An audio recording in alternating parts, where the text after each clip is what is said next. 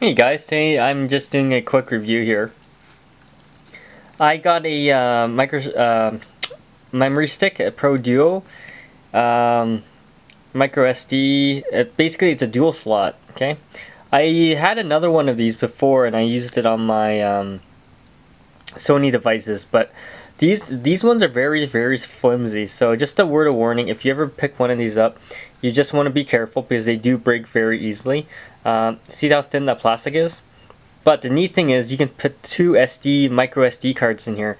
So you can have up to like 64 gigs if your if your uh, system supports it though.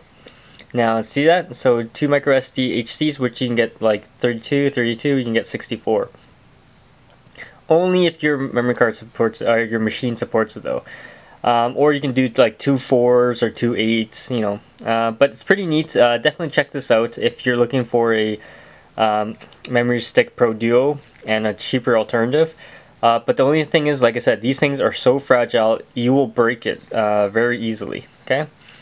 Uh, if you have any questions, comments, post them below, and don't forget to subscribe to the channel.